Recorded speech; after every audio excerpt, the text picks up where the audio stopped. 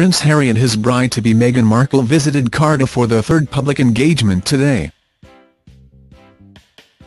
Harry promised to take his 36-year-old fiancée on visits across the UK before their wedding in May. Meghan opted for black skinny jeans by the Welsh brand Hiut Denim and told fans Harry is a feminist. She signed autographs, was given flowers, had her hand kissed, and even took part in a group hug. Meghan Markle passed her initiation with flying colours as she made her first visit to Wales yesterday. As she and Prince Harry continued their pre-wedding tour of the UK, the actress praised her husband-to-be, who is officially Prince Henry of Wales.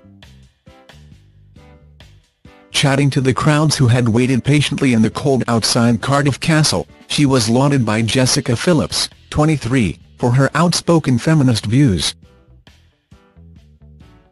Miss Markle, 36, replied, he Harry is a feminist too, so there's that. Freelance journalist Miss Phillips said afterwards, she was so lovely.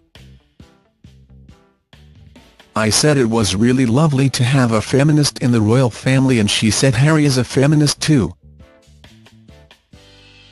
The couple's day in the Welsh capital had not started too promisingly, however.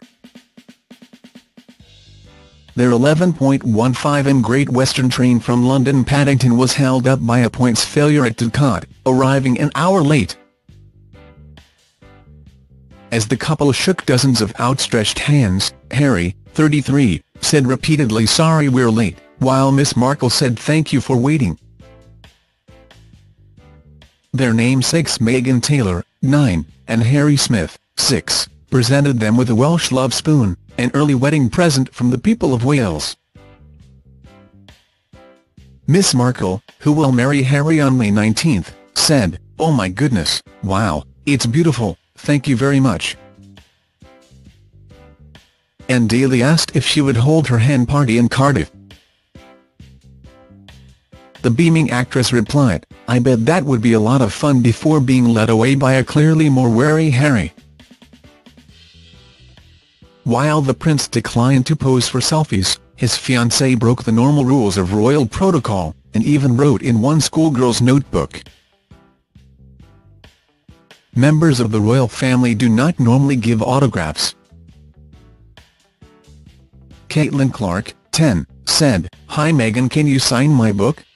Miss Markle, was only too happy to oblige, but unfortunately spelt her fan's name with a K, writing Hi Kaitlin and adding a heart and a smiley face.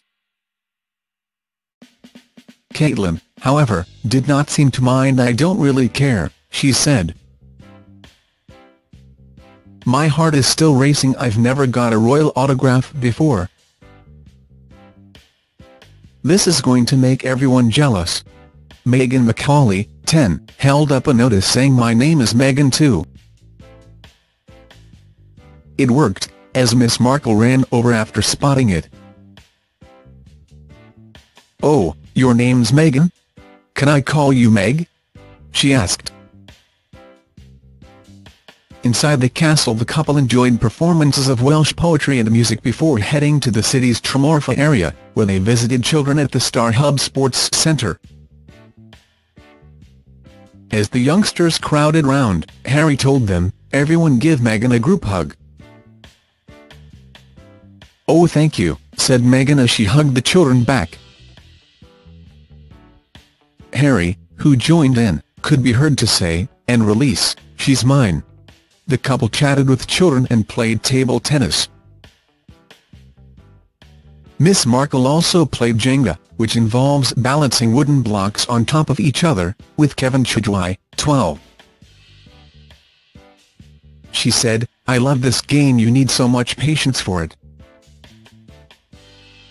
The royal couple returned to London at the end of the day, on a train that, fortunately for them, left on time. Meghan has been given her first dedicated member of staff at Kensington Palace, a new female assistant private secretary. She is now being supported by blonde Amy Pickrell, who used to work for Royal Bank of Scotland, the Mail can reveal.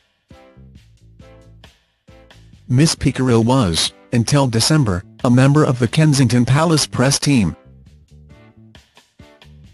But she has now been sequestered by Prince Harry to work as an assistant private secretary, based in his private office. Sources said she would be supporting Meghan on engagements and with her official,